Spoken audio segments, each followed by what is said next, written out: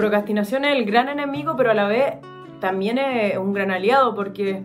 creo que es imposible estar cuatro horas concentrada 100% en una canción y de, repente cuando yo paro, estoy bloqueada, paro, me voy a dar una vuelta, agarro el celular, em, se me ocurre algo. Entonces es importante que esa procrastinación también sea una procrastinación sana porque uno puede caer en las redes sociales, en Instagram y, y, entra en este bucle que no es sano porque tiene solamente que ver con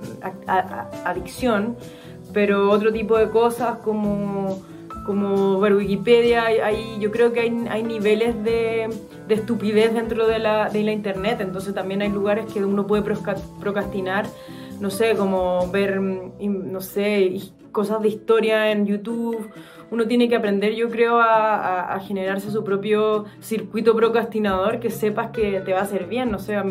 yo cuando corto, eh, cuando me bloqueo y me pongo a lavar los platos, me, acuesto con mi gata, es mucho más creativo para la cabeza que ya dejó de crear y sigue creando igual en el fondo que ponerme a ver Instagram. Entonces, porque sé que de ahí no va a salir nada de, ese, de ese proceso, de esa, porque claro, se completan las ideas en la procrastinación, pero creo que la tenemos más difícil los artistas de hoy con las redes sociales y lo adictivas que son para procrastinar, porque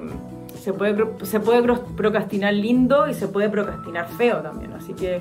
les recomendaría que tuvieran como su, su circuito procrastinador bien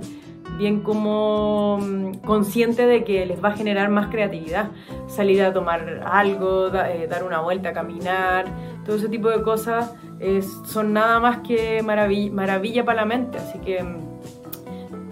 a mí me acuerdo cuando yo antes corría, que ahora ya no me, hace muy mal a, las piernas, así que tuve que cambiarlo por el yoga, pero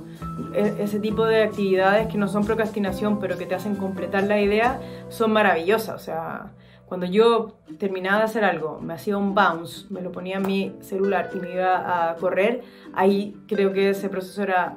totalmente parte de la, de la sesión de composición. Entonces,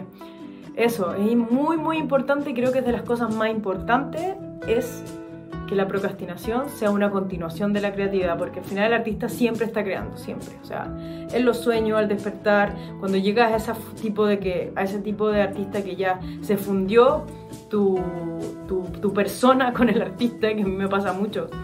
y, eso es, heavy igual, em, siempre estás creando, las 24 horas del día, entonces por eso le pongo mucho ojo porque las redes sociales están jugándonos muy en contra también.